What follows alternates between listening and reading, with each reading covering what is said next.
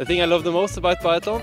um, oh, so much. Oh, I have a love-hate relationship. It pushes on the limit in many ways. What's not about loving, loving biathlon? Everything and nothing in the same time.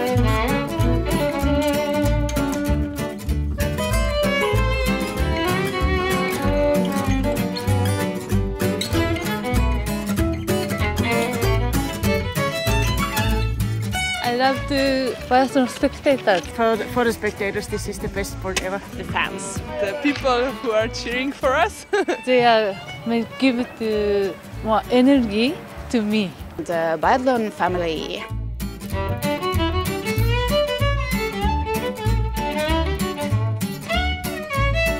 For sure shooting. I choose uh, biathlon because I was uh, suck in shooting, but I enjoyed to do that. So that's why I, I choose biathlon. Shooting and snow. Definitely winter. a great battle with a great opponent.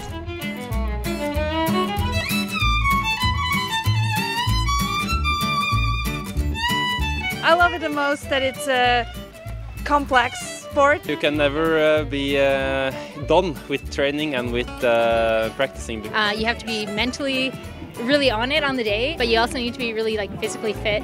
There's always fun athlete, something to change, something to improve. You will never get bored. And that uh, is motivating to know that you have never reached your full potential. So you have skiing and you have shooting, you, you have it all. Uh, it makes it a really challenging and fun sport. Everything can happen.